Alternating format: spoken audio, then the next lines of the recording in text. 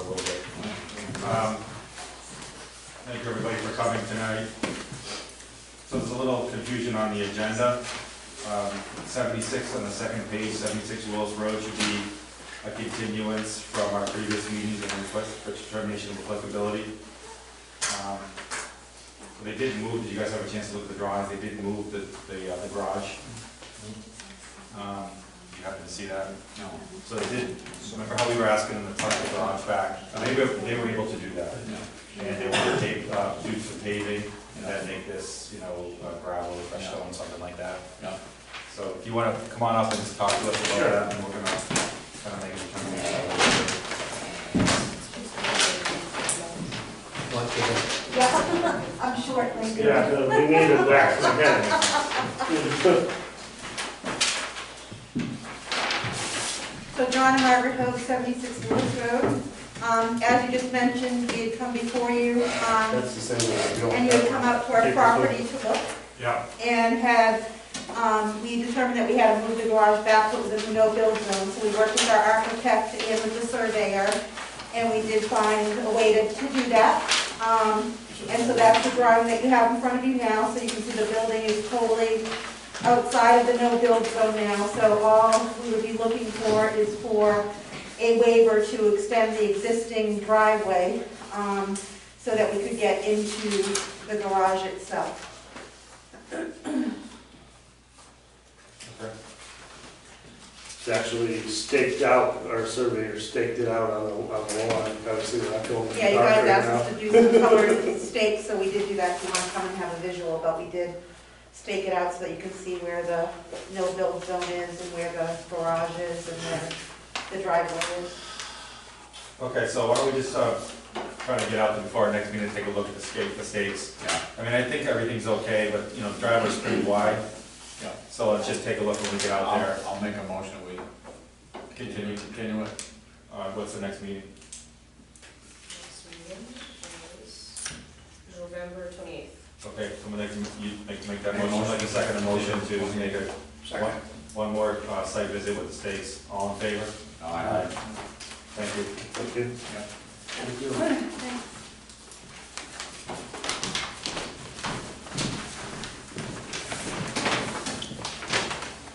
All right, uh, we're gonna skip the motion on the meeting minutes for now, we'll go right into the request of termination of applicability.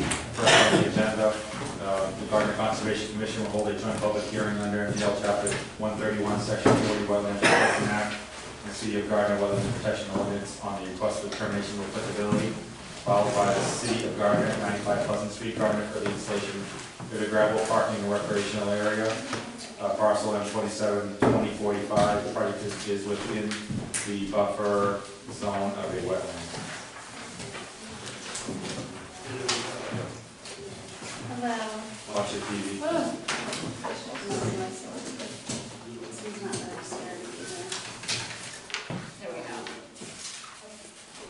Okay, so, um, I know we had talked to you before about this, um, actually, it's probably like six months or so ago. So what we're looking to do is have, um, a parking area, and it's gonna be consist of four spaces. Um, and then this is gonna be a stone dust path that's gonna connect up to the, um, our north central pathway extension. So we are looking for a waiver for the thirty-foot, um, no disturbance, sixty-foot no build, and, and a negative predetermination of applicability.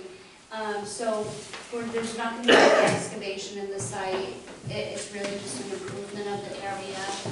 Um, a lot of plantings and a stormwater report was completed for this, because that was part of the site plan review.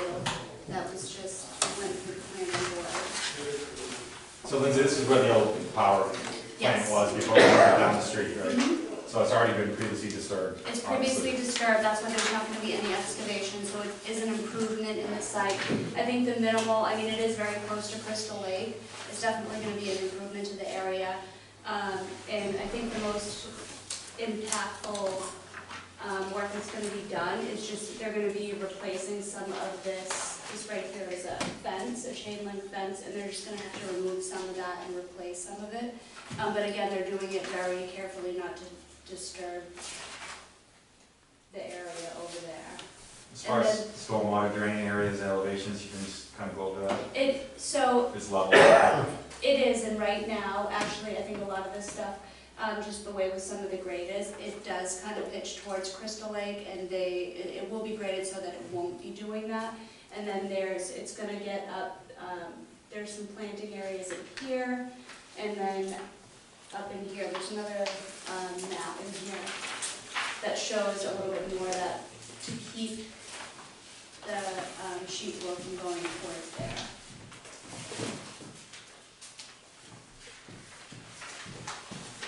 And it'll all be like a pervious surface, so there's not gonna be, uh, you know, that's why we're proposing the stone gut path, there's not gonna be an asphalt mix, because we just wanna make sure that, you know, all the water stays of Grinding. lake. You use grinding? It's not even right, it's just gonna be a stone dust path. Is there a timing or a schedule on when you do your work? Um, next spring, we're hoping to, s- to start this in the spring. Think it'll be done in a month, two months? It should be done by June. Oh, okay, that's pretty quick then. Yeah, it's a, it's a relatively small project, I mean, the area there, there, it's just really sandy, some vegetation that's there now. It's already been remediated and everything? Mhm. All clean, too. Yeah.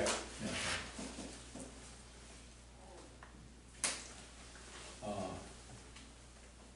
Is it the same curb cut up there, or what's going on there? I don't, Which one? the curb cut into the parking lot? What sheet you on? Uh, one oh two. Yeah, it's the same one you're on. Oh, it's the same one? Yeah, what's, can't even Right read, I'm getting here. old, no, no, the, into the So parking this lot. is already, yeah, so there's already, this, right now is that small parking lot that's being, util- that's, the, um, probably the Elks. Yep, Um, and then it goes into, there's this whole fence that fence in, fences in the perimeter, so it's already there. It's just right next to the parking lot that the Elks utilizes. Okay. and then when you're doing, you have any storage of any soils, even the stone dust, is there an area you're gonna keep it in, or you're gonna try to use it in the parking lot, move it over to that area, or how's that gonna? Or is Um, that something the contractor will determine once they're that's, ready? I believe, yeah, something that they'll determine once they do it. I mean, because it is a pretty small area. Yeah. Anybody, commission have any questions? No, we should go and look at it. I don't think we. I mean, it Whatever hasn't, they do there is gonna be improved. Yeah, I mean, we did go, Sophie and I did go out there. I just parked there, I voted, I just saw it. Mhm. I've been looking at it every day. Whatever they do there is gonna be a great improvement. Yeah, I don't know I if it- agree on. I don't know if it's where even, what, I mean, it hasn't changed since they pulled it out, they remediated it. Anybody have any questions? It's a really minor one. Mhm. Acer Freeman, Did you wanna see? did one you of the wanna- native species. Um, I mean, I'm, Oh, we sorry. certainly changed some of that, yeah, I, I just thought that's ask. just No one else really cares about it, but what they. No, I it think doesn't make sense Like to here. plant non-native stuff, but that's just my opinion. Other people think. But that's, I mean, we can certainly add that in there to ask them to do Sure. native planting. Yeah, sugar mix is good. Mm-hmm, It's okay, mine. It's a bullet. that's Yeah, okay, watch. he's a tree guy. There's plenty of bitter- bittersweet there. Yeah, there is quite a bit. You uh, Just curious, like. All right, anybody else have any questions? Anybody in the audience have any questions or comments? Quiet back here? Nice, sleeping or something? huh? Saving my energy. Yeah.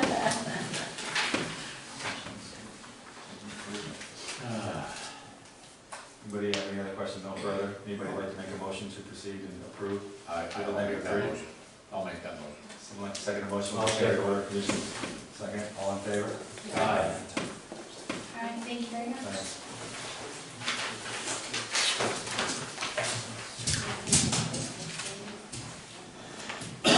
We all saw this coming four years ago, so it's not like it's not, I mean, we can sign after. Just to keep it. But that's this, a notice of intent, um, Gardner Conservation Commission will hold a joint public hearing under MGL Chapter one thirty-one, Section forty, Wetlands Protection Act, and City of Gardner Wetlands Protection Ordinance, and a notice of intent filed by Dane Arnold for the expansion of the sludge landfill located at eight fifty West Street. Proposal, uh, work is located within the buffers of the and vegetated wetland. This is uh, another continuance to nine twenty-six. So the commission did have, uh, request and get approval to do a third-party review. And uh, we just want to go over that third-party review. Did anybody here to uh, represent the city or the conservation? I'm Jean Christie from Tighe & Bond. How you doing, Jay? Mr. Chair, Jan Greenwood from Woodard and Curran is here. Okay. Myself. Okay.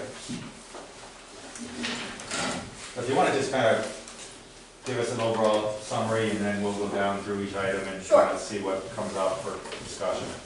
So Tighe & Bond was retained to um, review the notice of intent application, site plans, and stormwater management design under Conservation Commission's jurisdiction.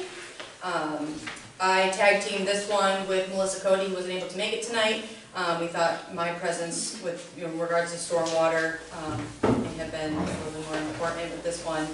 Um, You know, as you all know, this appears to be a pretty strict buffer zone project. Yeah, Um, so the, the, the- that Wetlands Protection Act piece was probably a little, uh, less involved, just for Melissa's review.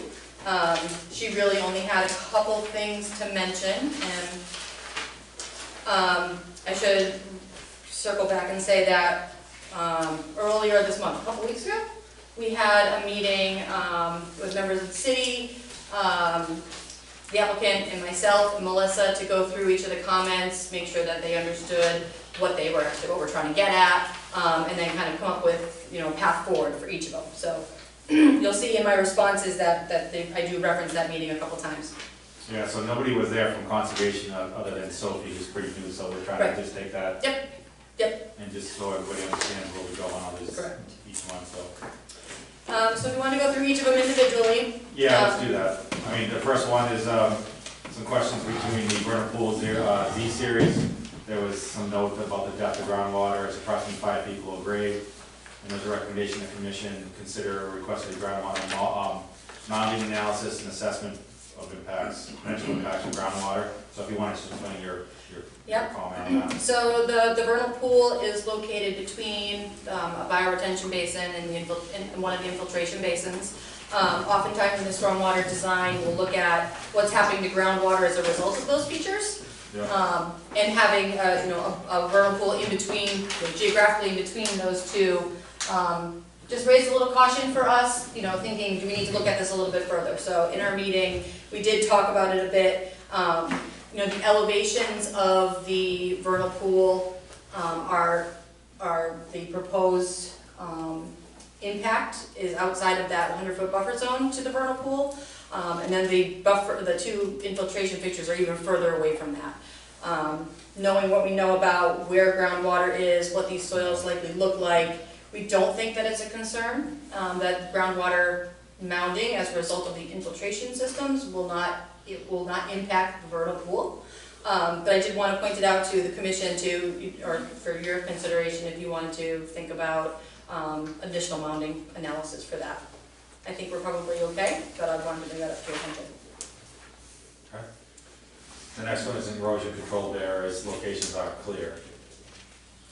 Yep, and so that was, um, Can it, to one first? Yeah. Do we have a decision on um, that? Are we okay Um, with it?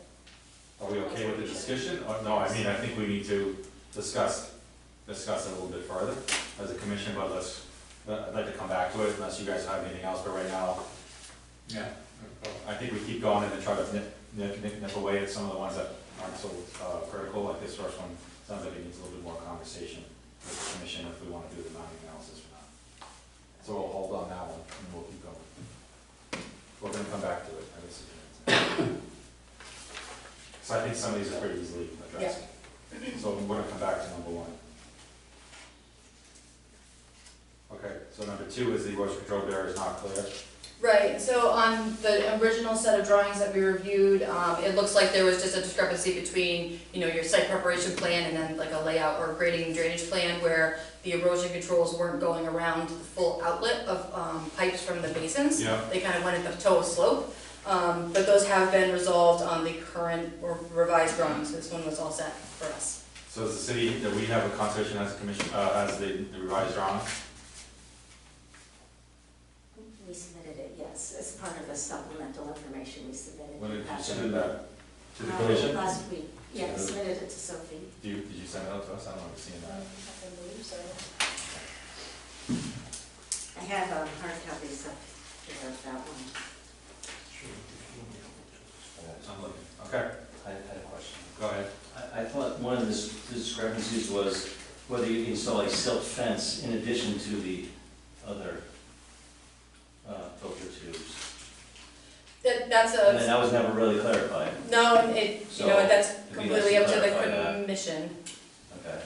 I see no reason why you wouldn't do that, Yeah. but maybe someone can tell me why you wouldn't do that. Well, sometimes you don't do it on the uphill side, Yeah, makes sense. That's certainly around, okay? but then in the areas that we want to protect, and the areas that have been in question, yeah, but I, I mean, typically, if you're on the high side, then all gonna wash down. It wouldn't apply in that location.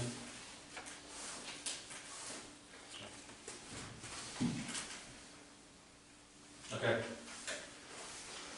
Um, number three was, again, again, about the vernal pools. Um, in some of our experience, we've had, we've seen commissions require some permanent demarcation around, um, vernal pools to permanently you know, notify anybody who's coming in contact, um, that, that, that feature is there. Um, the applicant, you know, does not feel the same way, that because this is kind of on the other side of the landfill, nobody's gonna be over there, um, and please opine if I, when I get something wrong. Um, and, it- you know, we want to just leave that up to the commission for your, you know, based on what your precedent may have been in the past for vernal pools.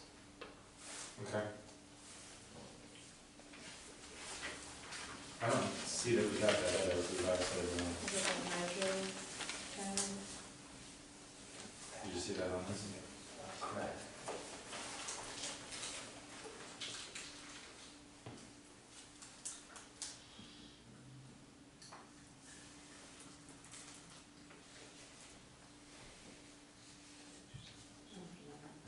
I see the notes, but I It was see. November first that I sent it to you, Sophie, What date? November first. I don't see drawings, I just see the, re- you know, the responses back and forth. Um, Doesn't mean I don't, I just might not see Wait a it minute, there. no, November seventh, I'm sorry, that was the first one, November seventh. They were attached, it was all one email, it was one, I mean, one file. The, um, the drawings I were definitely- attached, I definitely got that. It Yeah. was- it was attached to the letter, it wasn't separate.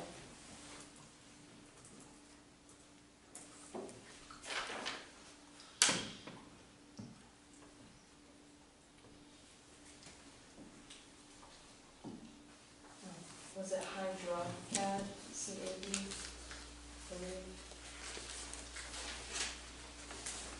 What do you mean? Was that? There was, there was a, there was a HydroCAD report, but there was also drawings attached. Yeah, it was with the, the letter, there was a flood letter from HydroCAD, and then the Yeah. drawings were in there too, so if you open it up, it just needs a Yeah. letter. The letters was, was the first page, and then all the attachments are all on the same file. So it was the seventh, I think that's what I used today.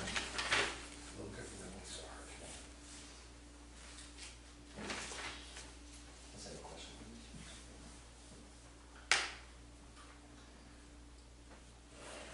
See it. Okay, let's keep going for now. Yeah, I have a question. Yep. Sorry to keep bringing, but we did that for the school in, the- in the vernal pool.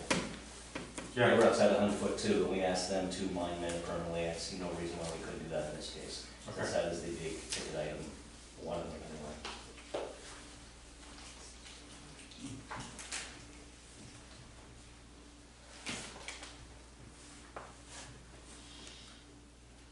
all right. I think that's something pretty easy. Yeah. Please. Yeah, thank you. Um, number four was again about erosion control and the type of erosion control materials that we're using. Um, you know, Tighe & Bond recommends jute or coconut fiber products, just for biodegradability, if that's the right word. Um, we leave that up to the commission to decide if there's anything specific in erosion control materials that you require. Yeah, we started doing that not too long ago, I ran into it at another project I'm working on, and they said no more hay, Rob, you guys doing the same thing? Yeah, I mean, there's no reason to use hay, Yeah. uh, straw at a minimum, um, and, uh, we're not opposed to anything, you know, Yeah. that the commission wants. That's in the scope of the project, that's, and, and also the demarcation for the vernal pool.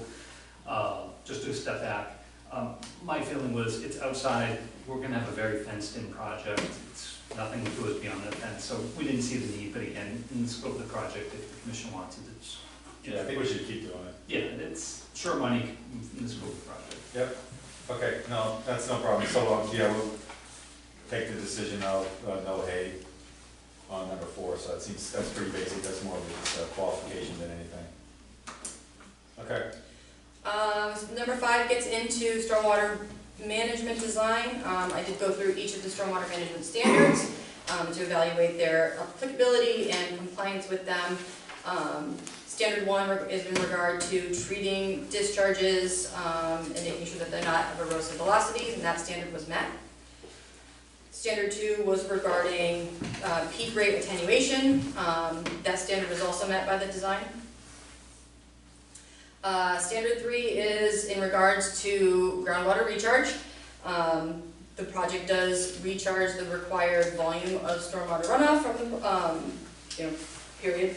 Um, there was a question about what the soil texture is underneath, you know, within the limits of the infiltration features. Um, you know, I, I did, you know, look into or ask for, um, some additional investigations. We got, got a response saying, you know, we've been working with DEP, the solid waste group.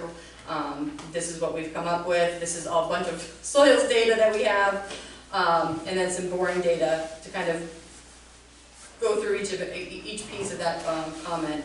Um, in, in general, I agreed with the applicant's discussion on the soil texture, so we're on the same page there, which also parlays into the infiltration rate use. Um, however, I do request that the commission consider a condition of approval that requires some additional subsurface investigations before construction to confirm their assumptions are true. Um, this is both for soil texture and groundwater elevation. so you want, you would, you recommend additional borings to confirm what they, they assumed that? Yeah, I mean, there's, there's, they have a bunch of data, um, for the site, but not specifically in the infiltration basins themselves.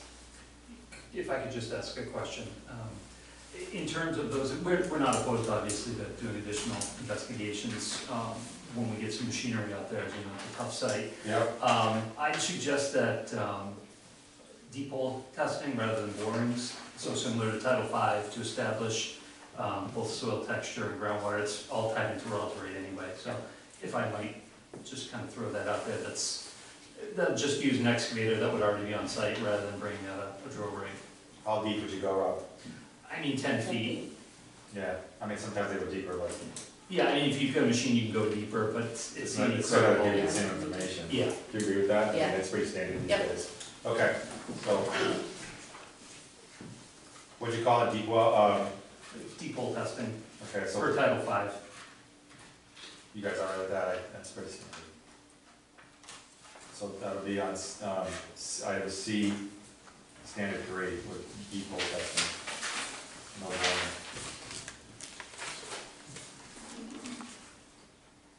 Okay, Uh, standard four is regarding water quality. Um, the project has been designed to meet standard four. Um, standard five was regarding, um, the land use type. Um, you know, there is, we did have a discussion about this one, a pretty lengthy one, at a meeting about the applicability of a land use with higher potential pollutant loads as a landfill. Um, you know, while this, while landfill during its filling stage would be considered a LUHPPL, because you need to separate you know, runoff that comes in contact with any waste and put that towards a leachate system. But anything that's on a closed and capped landfill is clean water, relatively, you know. Um, there's no way that that water is gonna pick up, you know, an increase in sediment loading or other pollutants. I mean, it's just a grass surface. Um, so we did agree that, you know, since there is a separate leachate collection system, the site is not actually a LUHPPL down, and that, once it's closed and capped and maintained, and like in compliance with its operation and maintenance plan. Okay, you guys understand that? You guys Yeah. good? You Good? Oh, well, I don't do it again. Yeah. Oh, you want, you don't understand it? I, I don't, I do and I don't, but Yeah, could you just kind of, this, no, Sure. can Um, you summarize that one more time for us? Yeah. So, uh, standard five is about land uses with higher pollu- potential pollutant loads, so that's often like, um, the ones I have in my head are like really high-intensity parking lots, um, fueling stations, car washes, things that are gonna pick up increased sediment or pollutants in the runoff before we manage it in a stormwater feature. Um, during, or during, you know, filling, when this landfill is being filled with waste material, that runoff that gets captured, that touches waste, goes to a completely separate system to be disposed of, and we can, you know, it's not a necessarily wetlands thing. Um, but once this, once the landfill is completely closed and capped and, you know, done, I guess, um, that runoff is just meeting grass and nothing different than a field outside. Um, so there's no increased loading of any sediment or pollutants, once it's closed and Once it's capped. closed, it's capped and it's done. You can't, you can't. It's just a grassy field, really. Okay, Um, So, thank you. thank you. uh, standard six was about critical areas and making sure that we're treating stormwater, you know, for different types of areas that they may discharge to. I did have a question about a designation, um, that I think we saw in the Mass GIS Mass Mappers, Smith Radecki Water Supply Land. During that meeting, or prior to that meeting, the applicant did do some research at what that means. Um, and it looked like it was a conservation area, not necessarily a water protection area. Um, so as far as I was concerned, that's not a critical area defined by Mass DEP in standard, in standard six, so we didn't need to do any additional design features for that. So we, so it's, n- it's not a critical area because it's not designated as a critical area or? It's, it's just a conservation area, it's not contributing to like a water protection zone, Okay, um, so it's not in standard six's definition. It's important, but it's not standard six important. so I, I think the confusion is on that GIS map. Yeah. It says water supply. I know. Yeah, Yeah, so yeah. that's why there's confusion on It raises a lot of questions. Yeah, yeah. Uh, standard seven is about a redevelopment, um, this project is not considered redevelopment, it complied with the standards as a new development. Um, standard eight is regarding construction period stormwater, this project does require a SWPPP. Um, so there is construction period, stormwater, and erosion control and sedimentation control, um, features proposed, and they'll be further elaborated in the SWPPP. Um, I don't know if the commission gets SWPPP, Oh, yes, so you'll get that later. on this one we would. Um, standard nine was in regards to an operation and maintenance plan for the stormwater management system. That, those, uh, criteria were provided in the landfill's whole O and M plan, um, with the appropriate, um, inspection forms and such, that was all set. Standard ten, um, regard, regards to illicit discharges, you know, that's something that we can often, uh, receive a, a compliance statement by the applicant prior to construction. So once we receive that one, that one will be all set. Are there any questions about those ten standards before I keep plugging along? No, because for the commission, I'm, I'm kind of thinking some of these like H, the standard H, the SWPPP, and the O and M might get another deep dive review into both of these when they're presented to us if the project proceeds. Just to kind of cover us and make sure that we have everything in there. I mean, I think we talked about that back in the day with the courthouse and a couple other places, and I think that's something that's kind of got us over the years, that the maintenance hasn't been completed even though this is more of a city project, it'd be a little easier to, to oversee it, but that's something we can discuss as a group. Okay, Um, starting at number six is where I start to get into some of the technical stormwater design pieces. Um, number six was looking at cover over an outlet pipe from a basin. Um, I misread the plan, so this one was all set, this was my mistake. Um, number seven is in regards to hold on, hold on, so that you, on the last comment that you said, we will revise the drawings to add more contour labels around, so something, in that revised package, we've already Yes. captured that. Yes. Thank you. All right, number seven is um, looking at the actual hydrologic modeling. Um, You know, we want to be able to compare apples to apples in these models. So when the areas don't quite match, we're like, where's that other area going? Um, So we did request to have the um, the HydroCAD revised. When we, they provided that, we're all set with that one. Um, Number eight was about the overflow rates at the infiltration basins. Um, it- You know, in in the HydroCAD, how they were modeling that was a question for me. Um, But that, with the explanation, we're all set now, that was clarified for me. Um, Number nine is again about, uh, kind of refers back to the standard three and confirming, really confirming what's out there for soils and groundwater. Um, Understanding why we used the numbers that we did in the analysis. Um, Need, had a little more discussion in that meeting that we held. Um, But I think if we can, you know, confirm, if the commission wishes, confirm what those soil textures and groundwater locations are before construction, we'll, we'll feel better about everything there. Um, And the last one was about intermediate condition stormwater, so that's when, um, you know, we have an existing condition, we have a proposed condition, which is the closed landfill, but what's happening in that middle time when we're accepting waste, you know, there's some daily cover, there's a leachate system partially online, and where's everything else going? Um, I needed a map to correlate the model to what's actually happening. Um, so that was provided, and upon reviewing that, we were all set with that intermediate condition. Okay. That was it. Thank you. So going back to the, the deep hole testing, what if, when we do that test, it's not what we assume, uh, what we assume for soils? What would the plan be for that? Um, I expect the applicant would take a look at the infiltration design again, all the stormwater management again. Um, you know, I don't remember exactly how the city would Yeah. proceed with a review, if it's, you know, administrative review, if it's something that we would look at, I expect we would look at it again. Um, and then revise CO, um, OOC, I think, if that's our amended OOC. So we were, that was a very, very conservative model. Yeah. Um, So we- uh, don't expect that to happen, and, and actually, the regional um, director for water resources was in these meetings, who oversees the wetlands at DEP, and they agreed that it made sense to do what we're doing, but, I mean, if we're out there, um, when we first start working in the field and start the construction, we can certainly dig some holes and confirm it, and if, and if it turns out not to be what we think, we'll just have to redesign it, make the basin a little bigger maybe, or smaller. Yeah, it's, I don't, I think there's, you know, space to change the design without, in changing the landfill design. Um, you know, but, We'd be very surprised if it Yeah. was different, yeah. Don't they normally do tip pit?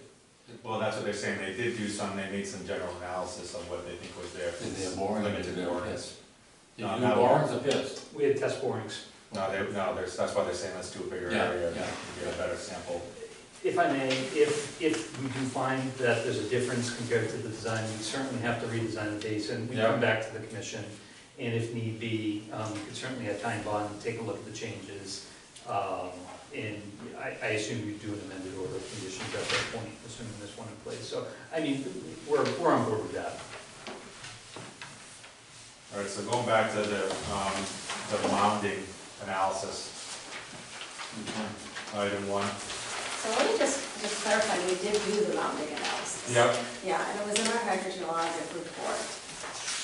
So that was a three-dimensional model. um, And what we, what we did this time around, after Tighe & Bond gave us a comment, was we looked specifically at the vernal pool, which we hadn't done before, but the, the analysis itself had been, had been done.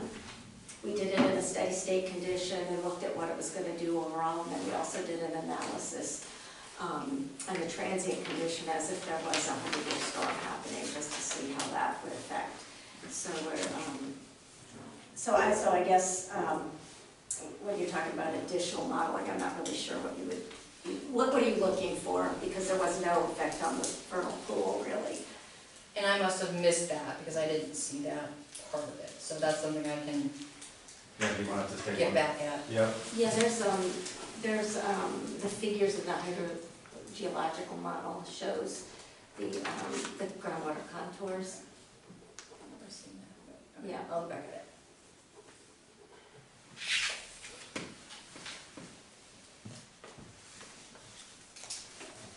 I don't, I just don't see that in revised package.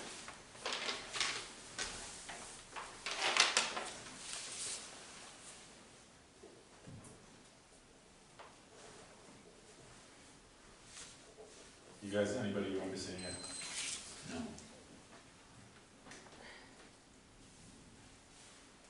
So I came over yesterday, so maybe you sent it, and I just don't see it, but I'm looking through it If there. I did, I know, if I did send it, it would have been right away. yeah, like we 'Cause I talked don't- about today. Yeah, because I don't, I didn't Yeah, want to wait no, until Lindsay used to do the last same minute. thing, she used to just, something came in like a substantial package like that, she would send the same. And I, I just,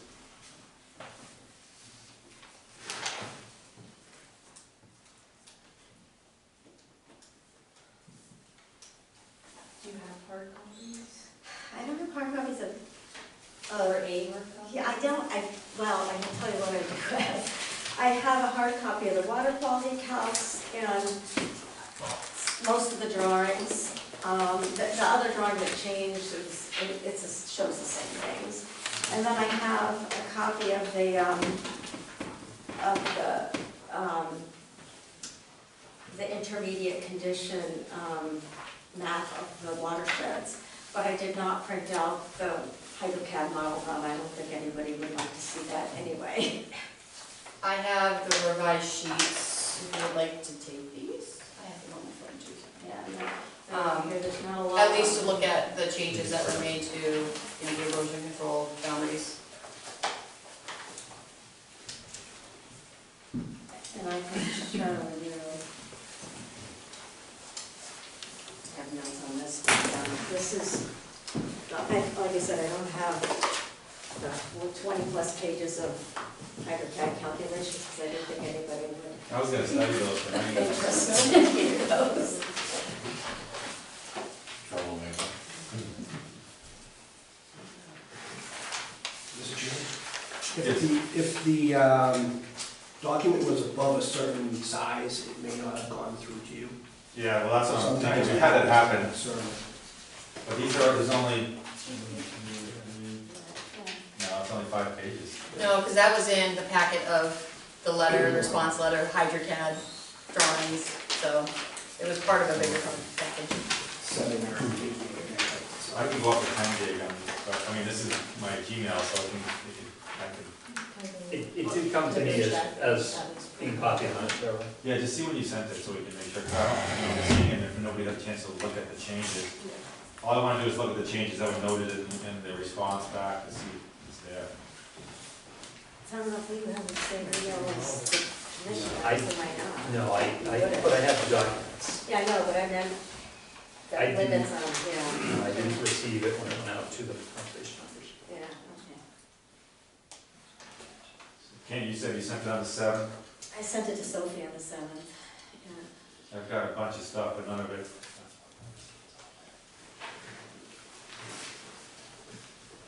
This is all the middle of the day.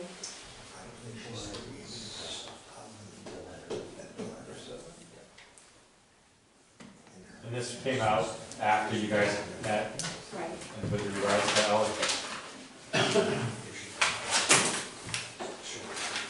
Yeah, that's,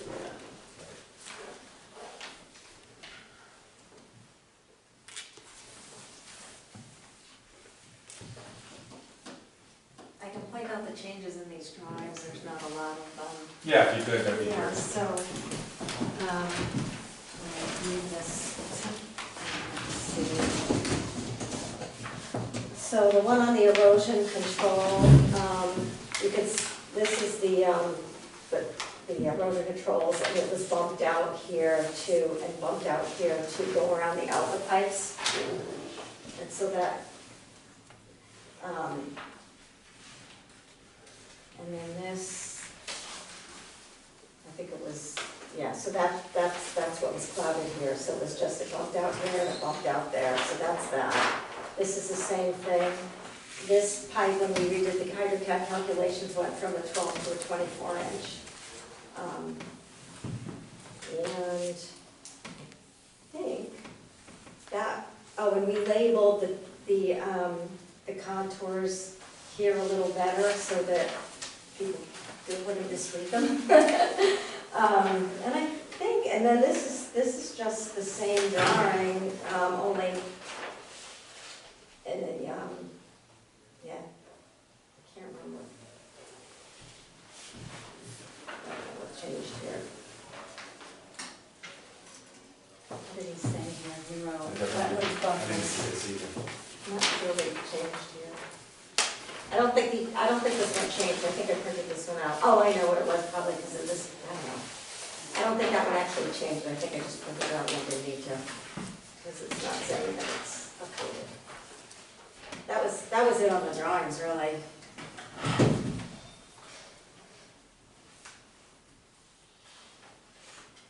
So, Here's where this one's out, and where this one's out.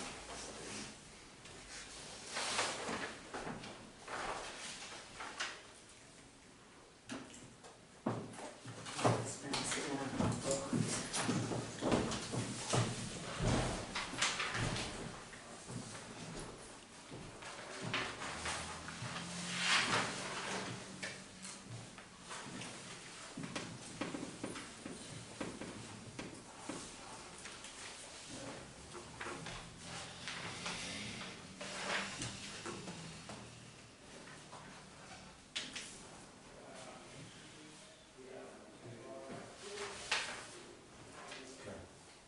I mean, just- I didn't get that before, did you?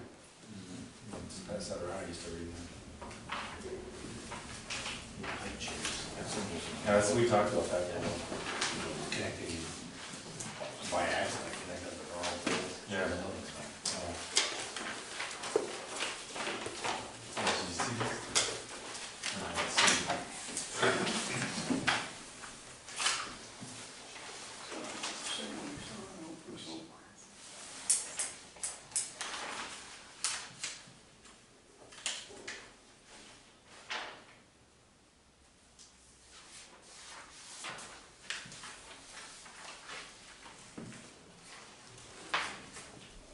You guys have any other questions or comments from the commission at all? I think, you know, there's a few ones that we definitely, we want to change, we want them on, and we want to do the deep hole testing. We'll probably hire us and third party to come in, and if it's Tighe & Bond, that'd be even better, just to kind of overview. Uh, and some oversight on items H and I, which is the, uh, stormwater and the SWPPP. I just printed this, and I sent it to you. You just do that. Yes. And She, I did forward it to you. I got it Yes. for the whole package. Yes. Yep, I got it. Anybody in the, audience have any questions? Comments? I do. Go ahead, Alan. I State your name. got I got a few, on Alan Russo, 211 Bay Spring Road, uh, also in a butter to the uh, parcel. Um, I prepared um, just a short, one-page list of comments, and you have to, you so you can follow along, because this is the only thing I'm gonna, I'm gonna uh, discuss tonight is these uh, one-page comments. First of all, you know, I'd like to uh, thank you as the Gardner Conservation Commission for requesting this peer review of the sludge landfill expansion notice of intent. Uh, I have the following comments on the Tighe & Bond, 1119 uh, peer review letter, because that's the only thing I was able to get from the city, was just that letter. I have a public records request to get any information from the meeting that happened between Tighe & Bond and Williams Burn. Um, Two, two left, anybody want one? Rick, I'll take one. I'll take that. Oh, I got one left, who wants it? My first point is I support all of the Tighe & Bond recommendations for further information, field work, and review. Uh, Bullet number one uh, recommends the commission request groundwater mounding analysis and assessment of potential impacts of groundwater mounding from the new stormwater management basins on, on vernal pools. This should be done prior to the close of the public hearing if it's going to be done and the decision on the NOI, not before construction. because it could have impacts on anything in the design plan. Number two, bullet, uh, I'm sorry, number three, bullet five, standard three recommends the commission require additional subsurface explorations within the limits of each infiltration component. This should be done prior to the close of the public hearing, not prior to construction. It Should be done now, before they complete, before you approve a notice of intent, orders of conditions here. We don't know what the impact would be on a redesign, we just don't know that. Maybe there's room for change, maybe there isn't. As I highlighted previously to the commission in my first letter on July 25th, I'm very concerned about all these retention ponds and new basins being put around the site. I understand what the reason for those things generally is, that they're all being done near or in, without falls, near the 100-foot buffer. My wetlands are all to the south of this thing. Those wetlands drain to the Otter River, okay? My spring-fed ponds are also to the south of the site. Again, with the groundwater mounding issue, I'm extremely concerned that something from this site gets loose through fractured bedrock, glacial till, ends up in my, ends up in my ponds where my grandchildren play. I've got five grandchildren under the age of 10 years old. They play in these ponds, within a few hundred feet of this site. Very concerned about that. Next one, bullet number five, standard five raises the question of whether the proposed landfill con- constitutes an LUHPPL, and if additional stormwater pollution measures are required. In my opinion, this project falls within the definition of land use with higher potential pollutant load, LUHPPL, per the definition in 310 CMR 10.04, which references 310 CMR 22.21, parenthesis 2, parenthesis B, parenthesis 1, dash, parenthesis 6, which includes, number one, landfills and open dumps are defined within 310 CMR 19006 definitions. And the second, number two, landfills receiving only wastewater residuals and/or septage. Wastewater residuals monofills, that's what this thing is, a monofill. Sludge landfill is a monofill. Approved by the department pursuant to uh, MGL 21 and 26 through 53 and MGL C 111 and 17 and MGL C 83, 6 and 7, and any regulations promulgated thereunder. So I really think it needs that extra level. A sludge land, it's not, it's a landfill, it's not a flower garden out there, next to all these wetlands. Bullet five, which is number five here, bullet five, standard six, recommends that the commission determine if additional research into the Smith-Radecki water supply land, AKA Cummings Otter River Conservation Area, is warranted. The reason it's called a, a water supply protection area is the city got two hundred thousand dollars in twenty twelve from the Massachusetts Drinking Water Protection Agency to purchase that land for drinking water protection. Not for the city of Gardner, for the town of Templeton, for their Otter River well, which is in proximity to this landfill expansion. It's a public well, the Otter River well. That's why it's called that. I don't know why it hasn't changed. Now, this was delineated by the town of Templeton in 2012, um, redelineated, and that area wasn't part of the zone two. However, however, I've had a geologist look into the research, uh, to research the actual delineation report and some of the particle tracking analysis they've done within that thing. And constraints were put into the computer model to stop um, the outreach of the zone two in a, in a uh, surface water uh, entity like the Otter River. So they're modeling in that thing, and that's a public document you can get from the town of Templeton Water Department. um, Specifically modeled it to end at the Otter River and not go to the other side. So my recommendation there is to consult with the town of Templeton about their analysis and their wells. These are public wells, they rely on these things for drinking water. The next item, uh, number six on my list, but bullet five, standard ten. The applicant should provide illicit discharge statement before the hearing closes so the commission can determine compliance with stormwater standard ten. The commission can't make this determination if the statement is submitted after the public hearing closes.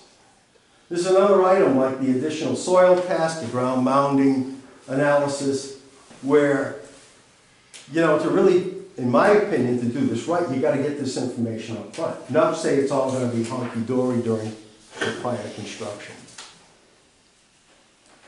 Uh, the last item is simply, I request that the commission, uh, continue the public hearing to allow the public further study of the information presented by Tighe & Bond and the responses by Woodard and Curran.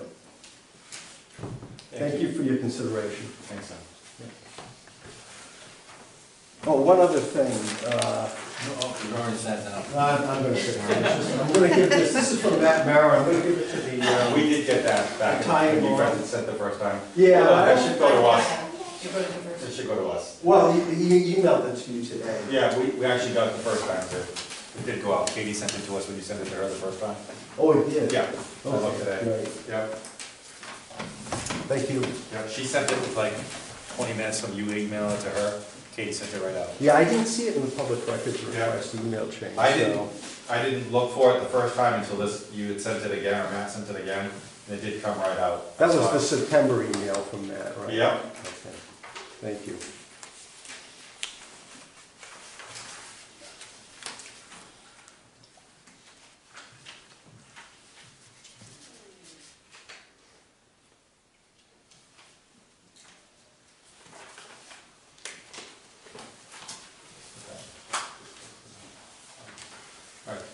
so we did get it back, and it went out, I mean, she sent it to us five oh seven, I remember getting it, I, I think I got it right after that.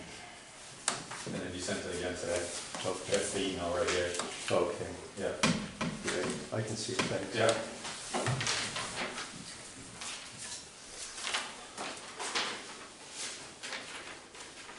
Rob, this yours? Who's, who did this come from? That That was, might I be think, mine. attached to the, um, No, it was, that was, that was cheap. Yeah, it's not ours, yeah, no. that was attached to the letter, I think, is that the, um, No, that's- one of that?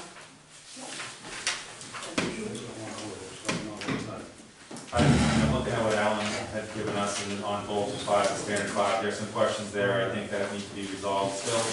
I think we did address the majority of them, but some of them, I think, Yeah. um, it's coming down to how you interpret the, the language here, because it, you know, it talks about what the landfill constitutes of the LUH, uh, PPL, and the stormwater, and it's, everything is an opinion, Alan, so it's really hard, we're kind of going with the facts of it, and the studies from the engineers.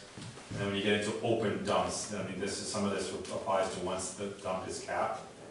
Um, I'm not here to debate the, you know, the state on this and CMRs, but it's, it's kind of, this is open dumps as classified under your, uh, three ten CMR nineteen zero zero six. And our information that we received and we just talked about is after it's capped. So there's a different determination on when and how that's handled. So I think it's more of a, um, play on words on both sides, so I think, you know, that needs some further discussion. I don't know if you have anything further to add to, Not or anybody here.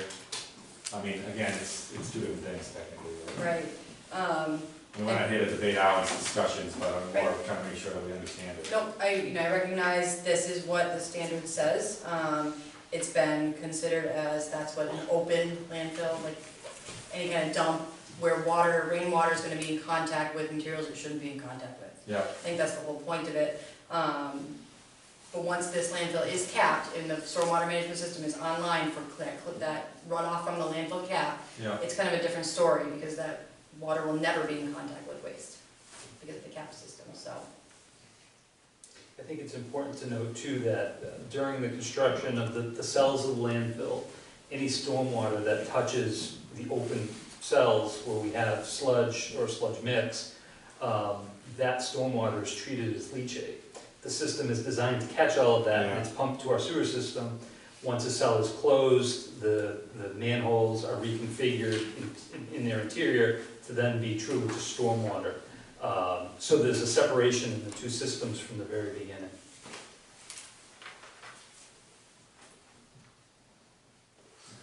I got a question. I, I, I think I asked this once before, um, to your knowledge, the you engineers, has there ever been a, a leak where what, what's there now has leaked out? I'll let you guys. Um, I- Explain for folks. Not that I'm aware of. Yeah. We had it. I'm not a solid waste person per se, I'm more of a stormwater person, Yeah. so I don't know all the solid No, I, waste I pieces was, no, I, I've never heard of a leaking not, not working. It, it, I mean, as far as groundwater protection too, the landfill is expressly designed with, you know, safety features, liner safety features to protect groundwater. So it's, it's a system that's, you know, very robust in protecting exactly the resources we're talking about. Um, so that's kind of an important fact to remember as well. Yeah. So the monitoring of wells is done very frequently, It's never really detected anything out of the ordinary. Not that I know. Yeah. I Can't say. Excuse me, are we talking about this particular landfill? Correct. Thank you. Yep.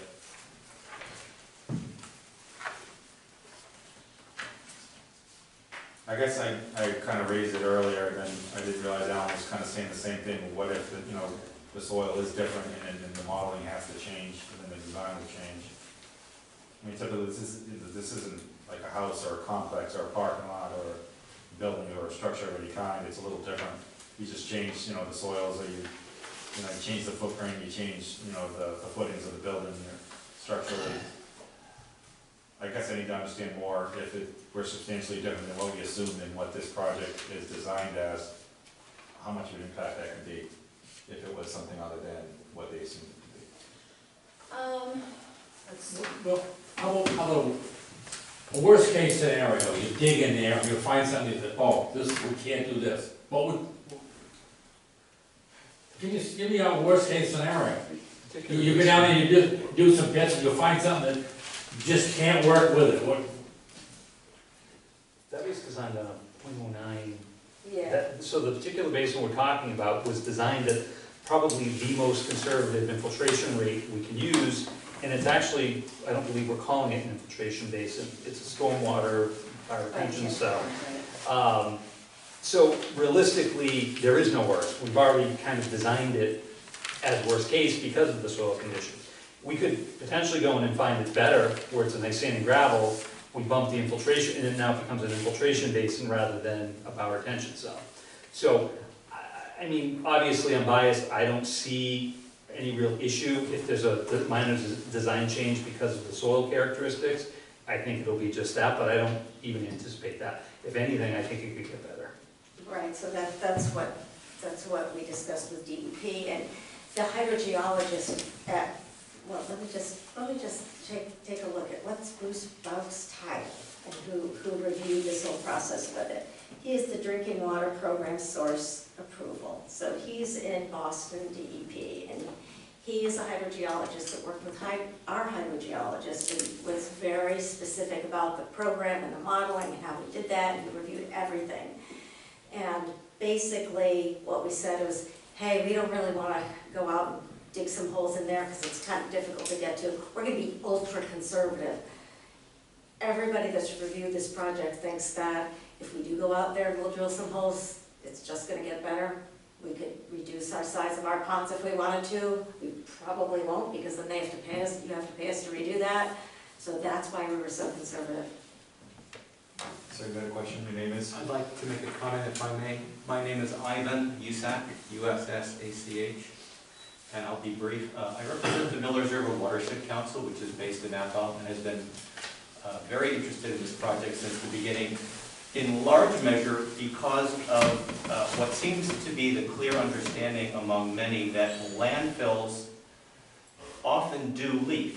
Now, I'm not here to offer a defense of whether or not this landfill is going to leak or not in the future, but I believe that an objective review of the literature in the field of sanitary engineering, notwithstanding all of the wonderful advances that have been made in the field of public health, uh, will show clearly that the risk of a leak to a landfill, despite however wonderful the technology may be, for 10 or 20 or 30 or 40 years, we're talking about a long-term framework.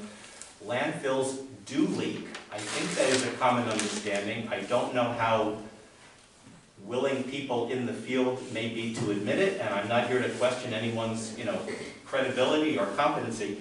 But if you would like more information on the issue of the potential for leakage of landfills, I would be happy to provide additional information in the future. I can't just, you know, spout it off the top of my head. Or you could look into it on your own, but I would ask you to just take into a little bit of consideration that it's- it was suggested that landfills are not gonna leak because of the technology, and I, I don't think that is quite a hundred percent bulletproof statement. Okay, how many landfills in Massachusetts right now that are capped? Do you know? That are capped? Yeah, right now in the state, how many capped landfills do we have? I do not know. How many are leaking of the ones we don't know we have, or how many we have, but how many do you assume are leaking right now? That is an excellent question. I, I do not have that information. I would be happy to try to. No, it's okay, I'm just, I was curious if you had that information or not. Yeah. If I could just offer one other thing, and I'm, I'm not suggesting landfills don't leak, um, of course they can. Um, the, the beauty of this particular project is we tried to keep it out of the wetlands buffer, as far away from the resource areas as we could. Um, so not only is it reviewed by you, because we are in the buffer zone, um, this will go through a thorough vetted review through DEP, who we've been basically working with from day one on this to make sure we get it right. Um, But it also goes through MEPA, so MEPA gets their hands at, on it to review it. So um, DEP allows this permit, and we're gonna do everything we can to meet all of their conditions and design requirements for it, which we've been working on, again, from day one. So um, it's not the end-all here tonight with the Conservation Commission. The state really will take an in-depth look at the landfill itself, um, as well as the, the wetlands issues and resource areas that, I, I assume if, I haven't received any comment from DEP on the, the NOI filing, but, um, they are certainly looking at it with a, a sharp eye. Do you know what time frame on those, Rob, when DEP or MEPA are gonna look at it? Is it something we have to approve, then they look, or do they look No, first? we, we've been waiting, we wanted to get through conservation before we went to MEPA. MEPA's the next step. Um, we need MEPA's certification before DEP will finalize any kind of permit on their end. Um, so we were hoping to have an order of conditions in place before we went to MEPA. But the state is anxious, they, they're actually, you know, urging us to get this in and get it into them. Um, it's been on their plate for a long time, as it's, uh, as with ours, so, um, they're actually anxious to get a look at it. Yeah, I mean, traditionally, we wouldn't do anything until we get a response back from the DEP, right? It's pretty standard, so I don't know why this would change. I assume we have a file number from DEP on this? You did. I- Yeah, I didn't think to look, and nobody's, re- I don't believe that there's been any comments from them. Not, not at the last time I looked, it And wasn't. They asked to postpone their review until later, because they're trying to, they want to see what, they need, and so they haven't, yeah, they. Hmm. I mean, in all due respect to the commission, I think we need, we need to wait until we get a response from MEPA and DEP, why would we give an order of conditions for something they may come back with a change? I mean, I think everything we've done to, to date has been uh, beneficial to everybody. I think we found some, some, some mistakes, or not even mistakes, just different views and different modeling. Uh, we did change some pipe sizes, and I think what we're doing, the, the process is working right now. But I think in, in my mind, and that's, you know, commission up for discussion, but, I mean, we've always had a response from DEP in the middle of a. They've been awful slow lately, though. They have, But they, sorry, if I can just Go ahead, interject, so they didn't have any comments on it? they haven't had anything yet. No, but they did, once they issue that number, they're gonna send you some comments with it. Yeah, That's, that's what they do. So I think as far as the other, what he's talking Yeah. about is for, um, the landfill itself, like what they're doing, and not the order of, the notice of intent that was filed, which is, Right. it's the same That's right. entity that's looking at it, but it's two completely separate permits. So as far as this permit, DEP had no comments on it. I think I remember That's because of the limited amount of wetland resource areas that Mhm. this actually involves. We're talking Yeah, about I a think I remember this pool. now. in the big picture thing, that's why DP said, Yeah, Having no, comments no, I remember this, yeah. so, It, we're getting confused with what you're saying, that's a different process. Yeah, that's true. DEP. I- I- Yeah, MEPA is a different unit with the state, and they, when they do their scoping session for the project, it will certainly be in-depth, they'll cover all wetlands issues, so it's, um, that's why I say, i- if you were to find yourselves to issue an order of conditions or not, um, prior to MEPA, I don't think there's any danger in the project moving forward, because I think the state will be looking at this project much more critically. Well, not, I shouldn't say much more critically, but it- from a different scope. What, how about a timeframe? Nobody knows, it's, Well, MEPA has, I mean, they have a, a, a timeframe which is gonna take months. Um, and then once they've completed their review and issue a certificate, DEP, their timeline is, I mean, we're, we're six months to a year before getting permits from the state and, and, you know, being ready to go. So that's why I'd rather keep everything moving than not. Yeah. Isn't the life expectancy of the current uh, sludge landfill four years plus minus? Give or take, yeah. That's why we're here, we're trying to right. head off the need for huge expenses shipping our sludge out of town prior to running out of space at the current landfill. Go ahead. Your name is? Terry Griffiths, uh, Templeton Select Board. I just find it confusing that the landfills across the state are closing in twenty twenty-five, yet you wanna proceed with this type of solution as a short-term fix. And again, um, you know, we have generations ahead of us to think about the clean water and water across the United States is in trouble. And I was also wondering if someone could clarify under five G standard seven, the language is pretty obscure. Uh, in that it says, uh, the project is not considered a redevelopment, the project is required to meet all of the standards in their entirety, and then it says the standard does not apply. So is there two different things, standards in their entirety versus standard? Is that what it's saying? I don't Yes, understand. Shannon, I'm happy to respond. Go ahead, thank you. Uh, so, yeah, standard seven is about redevelopment. If you can prove that your project is a redevelopment, you don't have to meet all the standards in their entirety. You can meet them to like your, the best practical, you know, that you're, the best you can, um, and some you may not be able to meet at all. Um, but this is not a redevelopment, so the standard does not apply. So it's a redevelopment. This is, this is not a redevelopment, this is a a new project. Project. So it has to meet all the standards in it there. Correct. Okay. Thank you.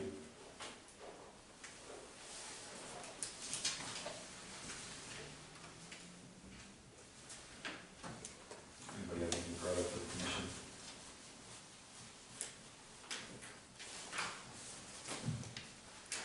Well, we can all sit here and look at each other all night. I'm just, So I'm gonna make us a judge. yeah, Why don't we, uh, if we go again, continue this hearing until MEPA makes a decision on it? I wouldn't be in favor of that. I think we need, we, MEPA would be more interested in having your decision as moving forward. All right, all right, all right, I'll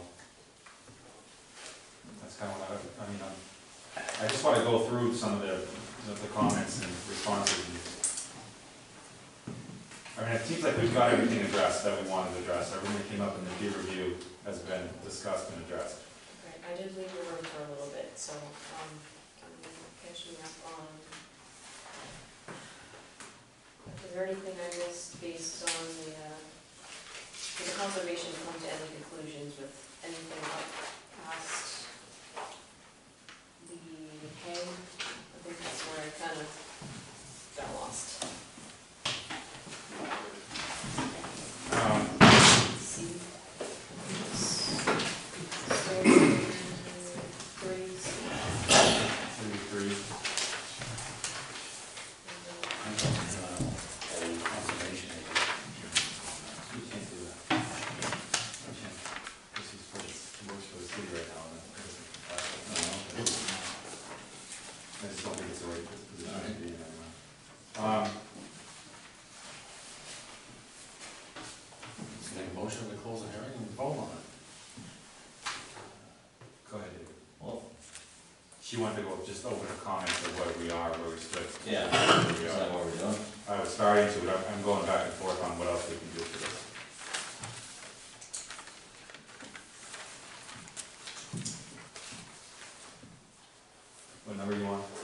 we could maybe do this after the meeting, just so you can catch up. No further comments in the, uh, the audience? May I just, Your name is? my name is Mary Marsh, and I really would like to support uh, what Mr. Russo said about um, having kind of like our ducks in a row to be able to have the public understand everything before the work is begun. I, I, I guess I understand that the public needs to have an understanding of it, but this is, you know, it's been going for quite some time. So the documentation's been out there, the responses have been out there. So I think at that point, we can't, we can't just drag this on and on and on until we get public comment and keep going, because it's never gonna end. At some point, we've got engineers here, we've got third-party review, we've got, you know, some of the state involved here, we've got drinking water specialists involved. I think all the data's there, it's a matter of, do you understand, do you comprehend, do you have questions? Yes, I mean, we all do, and we, we- that's, that's fine, but I think at some point, we've gotta take all the facts and all the statements and, and the data and analyze it and make a determination, and I think we're, we're at that point. I, I, I understand where Alan's coming from, a lot of this information that he's given is, is in my opinion, and we can't take, in my opinion, as an interpretation of what a CMR code is, the CMR code is what it is, and that's kind of where I, I'm kind of going with. No, I, I understand that part. It's, Yeah, Um, uh, This gentleman said that the process could take six months. There's gonna be more soil testing and everything. well, that will, that will occur once they, if the project proceeds and once they get into there, they'll go in and do deep, wa- uh, deep, uh, soil testing, and they'll make arrangements after that if there's something different. But it sounds to me like they made the drawings and the design to the best capacity and worst case standards, which is point nine, or is it?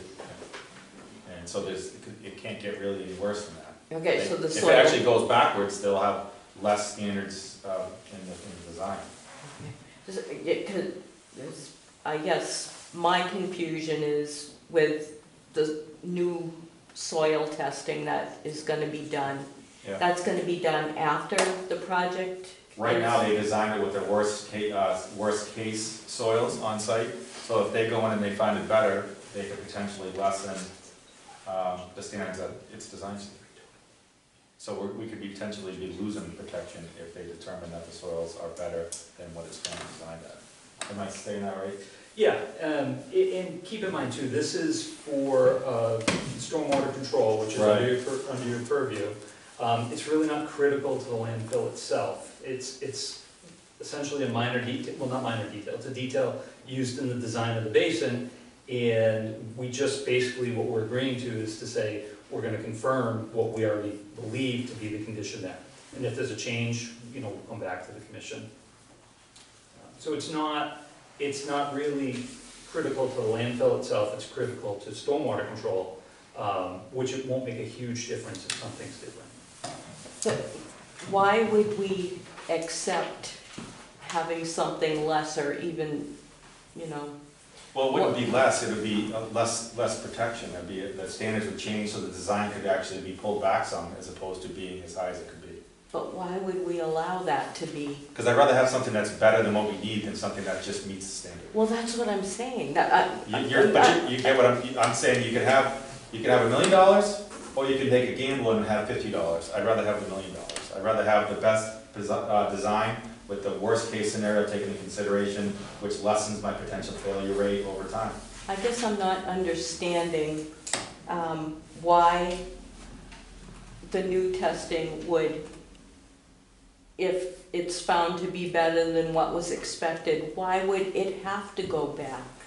Well, I mean, that's what he's saying, you know, I- If we went out and tested that basin again and we actually got a more favorable result, we probably wouldn't change the design. We'd stick with the conservative design because quite frankly, it's gonna cost the city more money to redesign it. Okay, all right. I That's where, where my okay. question was, why would you go back and you wouldn't? We would, Okay. I don't think the commission or the audience wants to hear, we probably wouldn't Yeah. change it. I think we have to have a definitive stance Nice. from the city of Gardner that if soil conditions are finally better, we are still gonna stay with the maximum system to to be put in there, not one that's gonna phase. I would commit to that, because I'm not gonna spend the taxpayers' money to redesign it. I mean, if they had to come back and change anything major anyways, it would be come back for an additional hearing to come and make the modification. Because it's my intent uh, to hold the city to that comment, that they're not gonna back off on, on what's been designed, worst-case scenario, no matter what the soil results come back as. Yeah. It- We, we wouldn't be back in front of you. If we tested and found it's pure sand and gravel, we'd just tell you it's sand and gravel and we're continuing on as per plan. Okay, I'm comfortable with that. Thank you. All right, everybody, anything else? Go ahead, So I was gonna say, so it sounds to me, based on what we've been talking about, we got a few things left. If you want additional review on SWPPPs and things like that, Yeah, as the project moves forward, and then whether we want any type of illicit discharge statement in advance. that's it. That's all I can, So that's what, and that would all go is, is if the project went forward, we would bring an additional report to modify or to review and third-party review those two items again in, in greater detail, which is pretty standard when we do, we, we always do that. We don't always bring third party when someone's just building a, a berm in front of their house, we get the owning manuals and parking lots like we do with the college and move forward with that.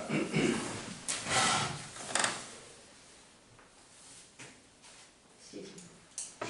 No disrespect to your profession, but you're focusing on the best case scenarios and, you know, that isn't always the case. So then what happens? Well, this isn't, he's. It he's isn't fo- always the case, so, But he's focusing on the worst case scenario and saying it could potentially be better.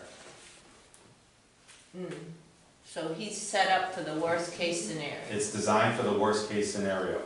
And what if he goes out there and those- those additional borings are worst case scenario, nothing changes? Well, they're gonna only be what they already planned for, because they planned for the worst case scenario.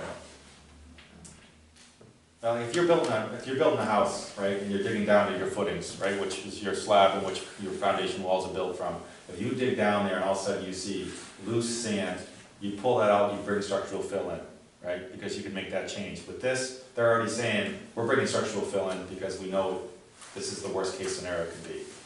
Like when you did, when you do pylons, and then you probably talk a lot deeper, when you do that, you, you, you're not gonna go down fifty feet, you're gonna go down eighty feet just because of that worst case scenario. And they designed for the worst case scenario. We could do what ifs, we could do potentials, we could say, uh, yes, it could leak. We all got here with cars, the cars all have tanks, the fuel tanks could leak, we all park everywhere. It's a risk you gotta take at some point, so I don't, we can't forecast what's gonna happen. We don't know what's gonna happen to that line, we don't know if a tree's gonna fall on it, we don't know if it's, if nothing's gonna happen. We can only take the information that we've been given, the science, the data, the modeling, and make a determination from that point. And that's kind of where we are right now. Yeah, that word risk, when you're talking It's a about risk. people's drinking water, that's not a good word. Yeah, everybody took risks to get here in their vehicles, I understand, it's the same thing. Not really. Okay. Um, someone like to, um, make a motion to either continue or to approve. I'll make a motion that we approve it. Someone like a second? it. All in favor? Aye. Aye. No, David? I said aye. You said yea? I said aye. I was the only no. You said yes? No, So motion is moved as approved. Thank you.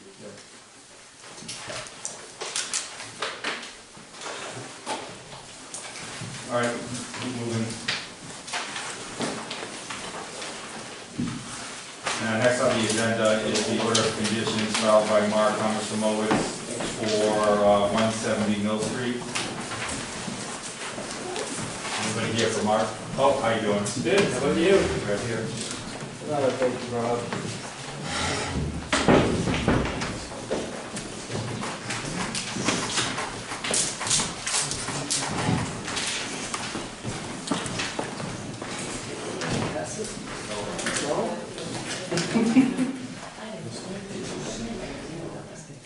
You got some revised drawings for us? Yes.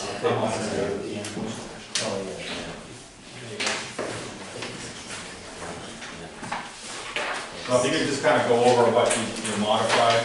Yeah, so for the record, Justin Clare with Graham Engineering. Uh, between last time I was in this room and tonight, DEP did come back with some comments. There was miscommunication within their office. So I did get the comments back from them. I do have them here in front of me tonight.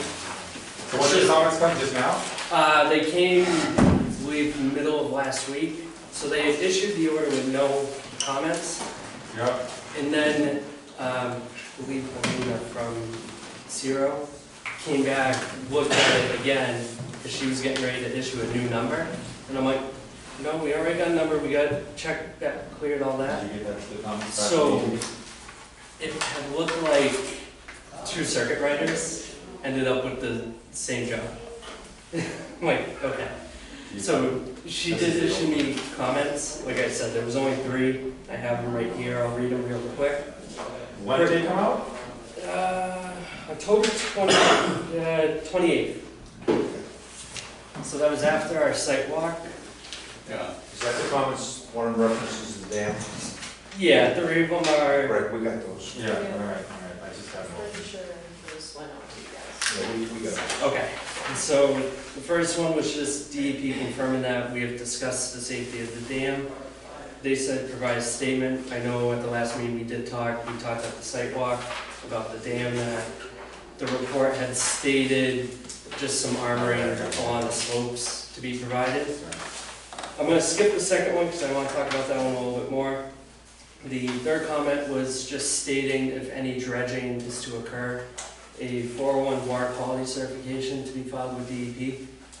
Like I said at the last meeting, we're not dredging the stream, everything's out by a thumb or by hand. So the second comment, and this is what led to the revised plan changes, Yeah. is they just wanted to see a pipe size for the sluiceway. So my response to them was, we're proposing a thirty-six inch HDP pipe.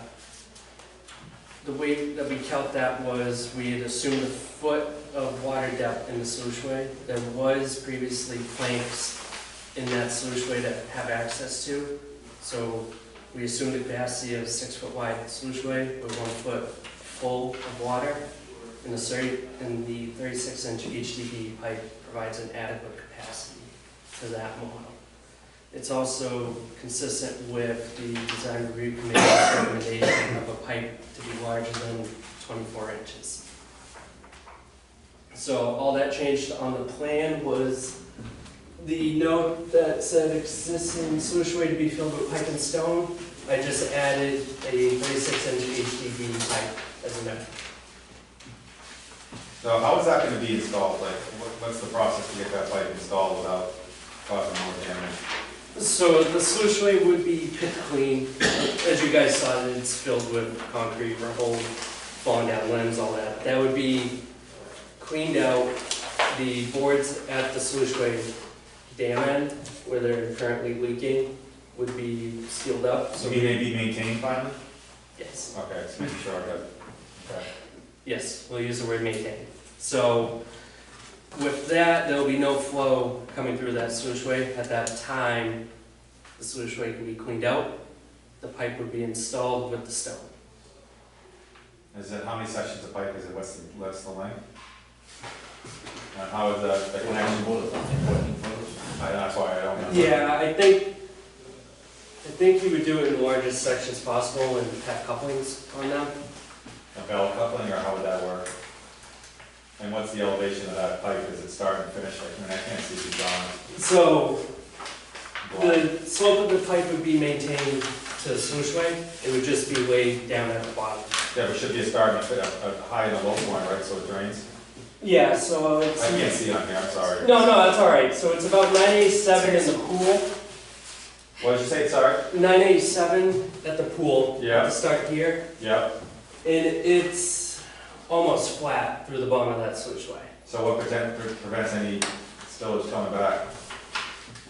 It would No, it be, flows, I don't know what the dimension, it flows. it I don't know flows. what the dimension is, but it does flow. Yeah, but It- now he's almost flat again. I mean, it Well, still, we- it, it still flows even with all the junk in there. We'd still maintain that same slope Yeah, of the it's, sluiceway. it's, Alright, you're not gonna, you're not gonna, you're not gonna dig down in the. No, he's not, we're not taking in the Put the pipes sluiceway. on top of what's there. Yeah. Once you get all the. okay, alright. But that sluiceway is relatively flat. So it, it does flow, but. when Yeah, more from the force, yeah, I got you. Yes, the force, the force of flow. So what if, is, is there any damage, anybody done any design or any investigation on that? The sluiceway, is it in good shape, or what happens if, you know, the pipe shifts and?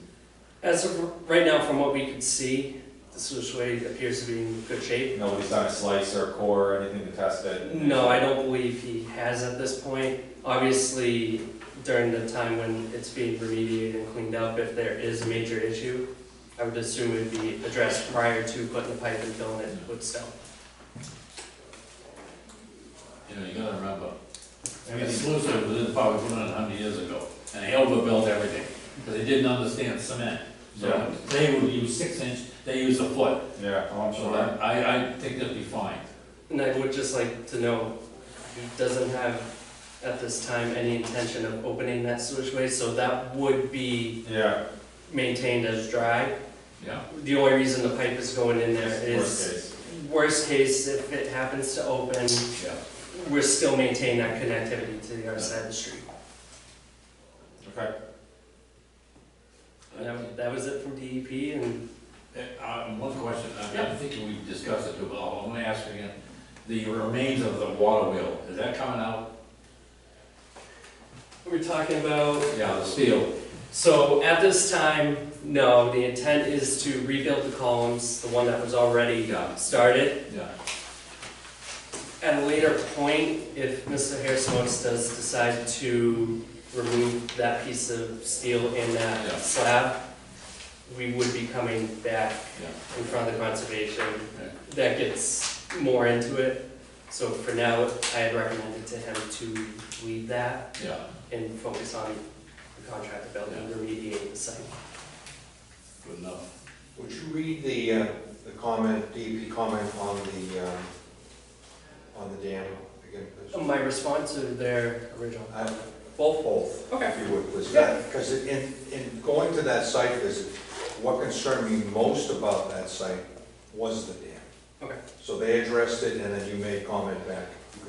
Yeah, so the first comment was, Mass DEP recommends the applicant provide a statement on the condition and safety of the dam to the commission. So I stated the condition and safety of the dam was discussed at the last scheduled conservation meeting, and at that time, there was no major concern raised. We did speak about it at the site walk. Um, Mr. Harris Motes did say that he had the dam report, there's no major issues with the dam, minus the armoring that they recommended be done. So that was when we were talking about the larger stone that would be put on the slopes around the dam. That's armoring right. the dam. So that was the concern with the dam. Can we, can you share the report on the dam with the commission? I do not have it, but I can ask Mr. Harris You, you don't have it, but you did all this design, and you don't have the report on the dam, on the structural integrity of the dam as it stands today. I don't have it on me. But you have, you, do you I have, have seen it. could you get us a copy of that, we're gonna request one? Yes, I can ask Mr. Harris Mullins. But you took that report, and you took that information you gathered into your design. So we're proposing no work Yep, on the dam. I know, We're not touching anything on the but you dam. checked everything around it, which would potentially affect the area around the dam, right? I'm asking, I'm not, No, no, no, no, no, I'm just trying to figure out the right way to say it. So the work that we're doing isn't gonna have an impact on the dam. We're not filling up against the dam, we're not taking anything away from the dam. That was one reason why I recommended not to remove the slab and the beams that were there, because they, they do They come tie back, back in. they come back to the dam. I did not wanna, at this point in time, touch that. So the work that we are proposing doesn't affect the dam. All we're doing here is in the sluice, which is here back to the box culvert, when you Yeah. come down the drive. yeah, okay, gotcha. I guess I just don't understand, Mr. Chairman, if um, DEP's in the loop on this thing, and the dam was referenced, and there was an inspection of one way, shape, or form, the information was provided to this gentleman, um, does that not come to us? Well, I probably should, well, DEP's asking, they, you know, they're basically telling us we should ask for that statement, but I'm asking for the whole damn report. I like The how whole you- dam I like how you said Pun that. intended? Yeah. Um, so, honestly, I I agree with that a hundred Yeah. percent. Does anybody have any questions on the, on the new drawings? I think definitely they addressed what we were looking for and some of the comments, but until this point, I'd like to, um, continue to the twenty-eighth until we get the dam report, and study that damn thing. Mr. Chair, could I Yeah. Politely ask that you make a condition of approval to have a copy of this I dam? I don't want to. I don't, I, I wanna read the report first. Because sometimes around, like as you even stated, the integrity of the dam is only as good as the surroundings, right? So if we're gonna go and do an impact potentially worse than what happens, you open this up, there's something changes, the, the, the earth shifts when he's taking down some of the old building. I just get concerned that we could potentially be missing something with that dam. And uh, I probably agree. not, I'm probably overthinking it, Why not? But I built a few dams in my time, and I've also done one of the few inflatable dams in Vermont. And that was a big concern of when we inflated the dam to hold the East River up in, in, in Stowe. Yeah. They were concerned that there was so much pressure holding back the East River that the sides of the, the, the, the, uh, river would actually, uh, get kind of impacted and roll back into the river. So I get, I just get worried about that. I think what Mark's trying to do is the right thing. Yeah. We've been asking for him to clean this up for a long time. Just wanna make sure we get everything. And DEP must be in the same position of, they're a little concerned, they wanna know what the dam's about. So. We haven't had much information, the dam hasn't been maintained, and that area hasn't been maintained in years, so we're just concerned. Okay. I, I'm, I'm for the project. And you know- Just- Yeah. Well, I think we all are. Yeah. Uh, It's an improvement to the site, but when I went to that site visit, the thing that concerned me the most was what work was being done and the impact on that dam, Okay. period. Let me, let me tell you, some- I'll tell you some history about the dam. Way, way back, thirty years ago, forty years ago, I was chairman of this commission for seven years. The dam wasn't being used because it had been, the, the state said it had failed. Those boards, there was none of those boards in there at all. The, the flow was over, over the dam, most of it was through, you know, through Yep. the, the, the sluiceway Yeah, because there was no boards there at all. And I don't know who started putting the boards in, but all of a sudden, and there was no pond behind it, or very little. I mean, like. a- that's actually stormwater, really, right? No, no, no, no, no. There's both. Two, the brooks, two brooks come into it.